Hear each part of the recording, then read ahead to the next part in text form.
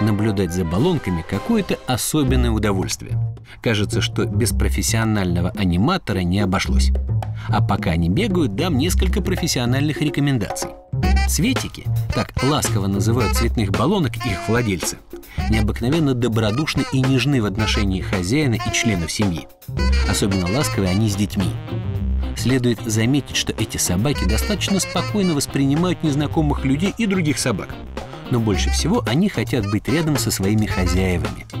Из-за своей привязанности к ним они могут страдать от беспокойства, если оставлять их в одиночестве на долгое время. Цветная баллонка считает себя большой собакой в маленьком теле. Поэтому, если потребуется, она готова защищать вас от непрошенных гостей, страстно облаивая их. А еще цветную баллонку очень легко можно научить различным трюкам и командам.